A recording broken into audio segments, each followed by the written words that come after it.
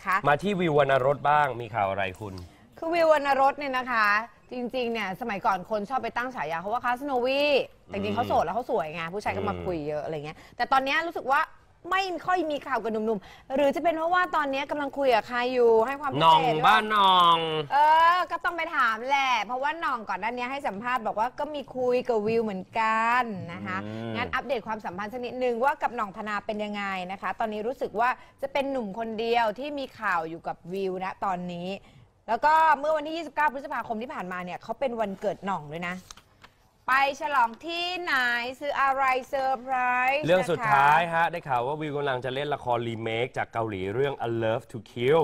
นะฮะซึ่งทางช่องวันเนี่ยก็นำมาทำเป็นเวอร์ชั่นไทย ชื่อเรื่ไทยดีรักไหมซ่อนแค้นเออ งานนี้ต้องไปถามเรื่องความกดดันหน่อย มันจะต้องถูกเปรียบเทียบแน่นอน เอาเวอร์ชันเกาหลีนะ เออเกาหลีก็อย่างหนึ่งแล้วเออพอมาทำไทยเนี่ยจะเป็นประเด็นอีกอย่างหนึ่งอะนะฮะ ค่ะอะ ว่ายังไง ไปฟังเสียงน้องวิวนี่นะค่หน่องนะนะหน่อง นี่หน่องนะไม่ใช่บอยนะอืมเออ หน่องนะข้างหลังเนี่ย วันใหม่ะวันใหม่นะ ไม่ใช่วันบอยนะโอ้ยฮะนก็ดูทาบไม่รู้ก็นไม่ต้องยังไงละ อ่าฮะอันนี้วิวนะ ไม่ใช่ต้นหอมนะไม่น่าเปรียบเทียบ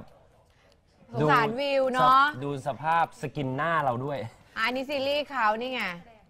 อืมีพีคภาพมีช้านินะววันเนี้ยเทพลมีพูดไอซ์ไปจบสรัญไปหมดยูละภาพเพิ่งมานะเนี่ยเดี๋ยวเดี๋ยวเรียกคุยกันหน่อย เออเลิกแล้วประชุมทีมงานนะโอ้ยิ่งใหญ่มาก จริงๆ แล้วเชื่อว่าต้องมีคนเปรียบเทียบอยู่แล้วค่ะ เพราะว่า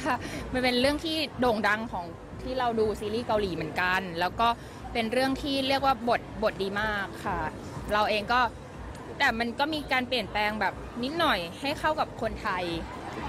ซึ่งวิวเองก็รู้ว่ามันต้องมีการเปรียบเทียบอยู่แล้ว เราก็ทำดีในจุดของเราอะไรอย่างเงี้ยค่ะ เต็มที่ที่สุดมันก็ยากอยู่เหมือนกันบทมันค่อนข้างยากเลยอะแล้วเรื่องหัวใจล่ะคะเป็นไงบ้างก็ยังไม่มีอะไรค่ะ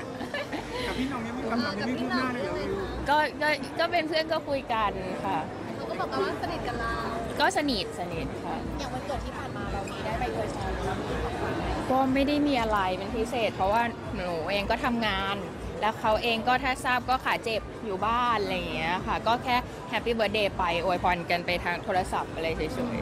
มีนัดดินเนอร์ส่วนตัวอะไรอย่างเงี้ยๆไม่มีค่ะเดี๋ยวคุณแม่เขาจะดูเอา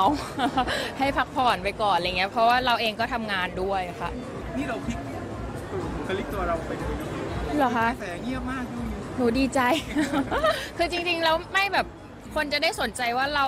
ทำละครเรื่องอะไรอยู่บ้างอะหมายถึงว่าเป็นงานจริง ๆ บ้างเพราะว่าอันนั้นคือสิ่งที่เราตั้งใจมานานแล้วค่ะ ลบภาพพัฒโนวีอะไรอย่างเงี้ยหรือเปล่าเออมันมันก็ดีนะ เพราะว่าจริง ๆ เหมือนที่ผ่านมาข่าวมันเยอะแล้วอะค่ะ แล้วข่าวทุกอันมันก็หนักด้วยแล้วซึ่งเราทำอะไรไม่ได้ด้วยก็ได้แต่พิสูจน์ตัวเองว่าเออสุดท้ายถ้ามันไม่ได้มีอะไรมันก็จะเงียบไปเองอะไรอย่างเงี้ยค่ะอืมนะอืมอะก็ติดตามกันตอนต่อไป